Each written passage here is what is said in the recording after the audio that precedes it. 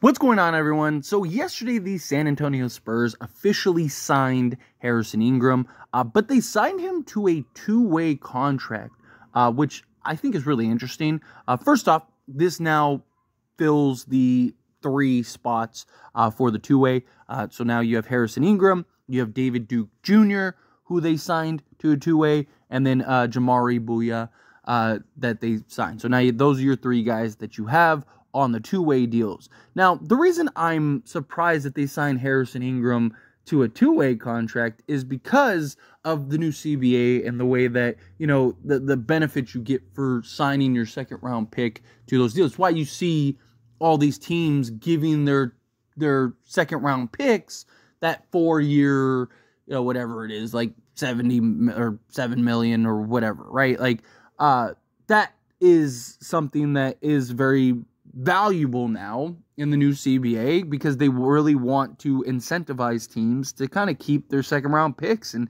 it doesn't impl- implicate the cap the way that it used to and all that. So it's it's interesting that they didn't sign him to a actual contract that they signed him to a two-way deal, but you know, it doesn't mean that he won't get a contract at some point. It doesn't mean that they won't bring him to the main roster and have him be a key part. Um, he had his good moments in uh, the previous summer league, right? He really showed those tools, those intangibles.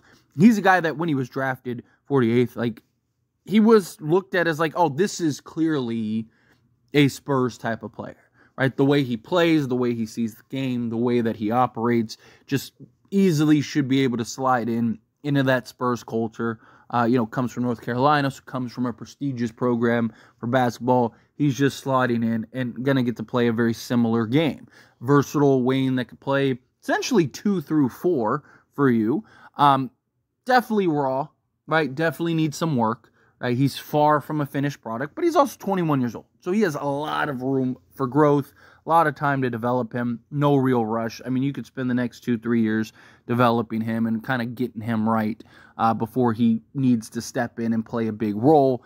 And and also, like you look at the the roster right now, right? Look at the other Harrison and Harrison Barnes who they signed. Right? He's getting primarily the three minutes, right? He's probably going to play 30, 35 minutes a game at the three spot.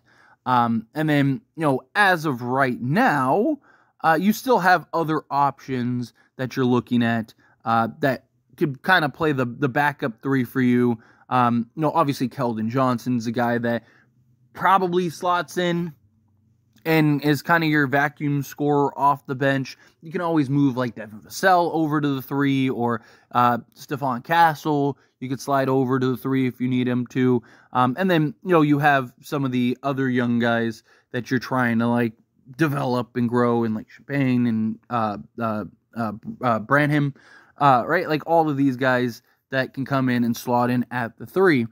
I, you know, would would like to see Harrison Ingram get some opportunities on the main roster. Like my concern is that like they basically just kind of stash him in, in in the the G League and he doesn't really get any opportunity this year, which you know I I don't think is the end of the world, right? Because again, I mean Harrison Barnes probably getting you, you know 30 35 minutes a game at the three you know, on occasion maybe slides over to the four. So Harrison Barnes, I think, will be your main focal point at the three spot.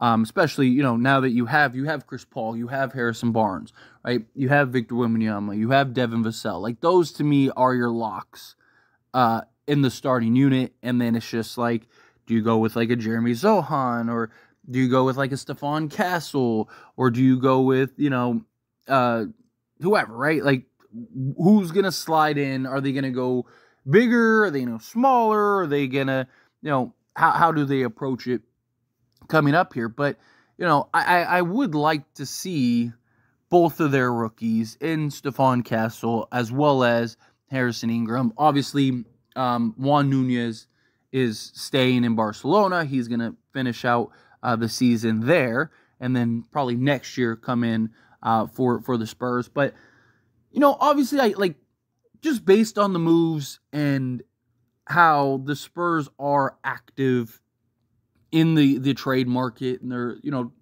still linked to Lauri Markkanen and stuff. Like clearly the Spurs are trying to be better sooner rather than later. Right? But you still want to you're still a young team that even if you get a Lauri Markkanen or something, right? Like you're probably still not winning a championship, right? Like unless Victor just takes strides to being a top five guy next season, which I, look, in my opinion, I think that there was a genuine argument. He was top 15 last year. I mean, he's the best defensive player in the league last year, right? And gave you, you know, 22 a game. I, I so I don't think, especially with Chris Paul and stuff, I don't think it's far fetched to think that Victor maybe steps into that top 10 range, um, at least arguably, right? And so if that happens, you get a guy like Lauri Markkanen. You never know, right? Chips fall your way. You, you get the right matchups.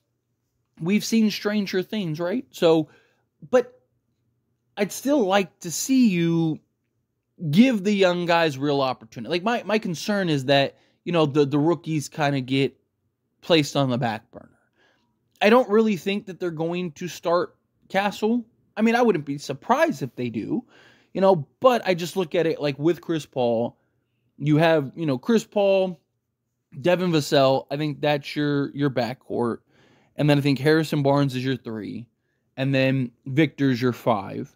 So they do you go with Jeremy Sochan? Do you go with, you know, pro- probably probably Sochan? you know, unless somebody else really emerges um, during training camp. But so then now you're bringing Castle off the bench. How many minutes are you giving him a game? What type of role is he playing? Right, Harrison Ingram, he's going to spend most of the time in the G League, which again is fine. Right, you want to develop him, but I want to see him get. I, I just I don't want to see him play solely garbage time. Like, see what does the kid got? Right? Sometimes you need to just throw guys to the wolves, right? Sometimes you just need to throw them in the fire and see see do they sink or swim? Like, what what are we doing here? Right? And so with Harrison Ingram and his versatility, I liked what you saw in summer league. I think he displayed a little bit of everything, that two-way ability, being able to knock down the three ball, defend, get to the basket, right? Like do do a little bit of everything again, is he perfect? Is he a guy that, you know, you, you throw out there and you're, oh, here's your starting four? No, nothing like that. But I do think he's a guy that has a lot of growth, a lot of potential. And he does look very much like a Spurs basketball player. I just, I want to see, unless you really start making some significant splashes to, to really upgrade and round out this roster, which they very well might. We'll see. Time will tell. But yo, unless you do something like that, I'd prefer you kind of work hard on growing and developing the young guys also. I mean, that's the whole point of bringing Chris Paul. It's one of the reasons why I really like the idea of Chris Paul. But I would have liked Harrison Ingram on the main roster. Right? Even if you don't necessarily, even if you do just play him in the G League, a large majority, the difference with being on the main roster is you're with the actual team more which means he'd be around Harrison Barnes more, which means he'd be around Chris Paul more, which would give him the opportunity to really take strides and, and grow and develop, right? Which is what you want from your two young guys. You know, you got the, the two Harrisons now, like one Harrison can learn from the other. That'd be great, right? And then Castle learning from Chris Paul. I just think you have the two guys that you can mold into like the next wave of those two guys right? Castle to me is more of a, you know, combo hybrid guard than he is a, a, traditional point guard, but I do think he learns a lot from Chris Paul. Right? I do think he learns a lot on just the playmaking side of things, how to, you know, properly run an offense and stuff. I think Harrison Ingram can learn a lot from Harrison Barnes and just being that two-way, three and D style guy. Like the beauty of him is that like he's a guy that knows his role. He understands his role. He plays his role. You know, he doesn't take away from the others. Right? Harrison Barnes, I'm talking about, right? So I just think that Harrison Ingram could learn so much in that regard. A guy that come in and basically slot in into that specific role, be that 3 and D guy, be that guy that can, you know, defend multiple positions, have that versatility. Like I said, I think you could slot him, you know, especially if he continues to grow and develop and develop an actual, you know, three-point shot with consistency and you know, just everything you want to see. Um I just I think that he he would be a great player that you can really kind of slot in. You know, you saw again all the promises that you wanted in summer league and in uh, you know with North Carolina and stuff like that. Um, you know, during summer league, he averaged ten points, six point three rebounds, uh, and you know that is that is very promising for a second round draft pick that helped lead this team to a four one record uh, in summer league and and really showed like okay the the promise is there. Everything that you want to see it's it's there. He's just gotta you just gotta kind of work with him hone it master it and then let him take that next step um, is he going to be able to do that in the g league we'll see I will see what kind of strides he takes between this year and, and next. Luckily, he is very young, lots of room, lots of growth, lots of potential. But anyway, as always, this is a discussion. Pass question on you. Let me know your thoughts and opinions down in the comments below. What do you think? How do you feel? What are your thoughts? Do you think that like uh yeah, like you gotta, you know, you, you gotta just take your time with him, develop him. It's fine that he's on a, a two way rather than a main contract. Do you think no, they dropped the ball? They really should have gotten him on a two way contract or uh, on a sorry main contract, not a two way contract. However you feel, whatever your thoughts are, love to hear it. Let me know down in the comments below. That being said, if you haven't liked this video, hit that like button. Helps me a lot. So we enjoy these types of videos, and I truly appreciate it. Not subscribe channel, hit that subscribe button. Turn on the bell notifications. Appreciate y'all. See you in the next one. Thank you.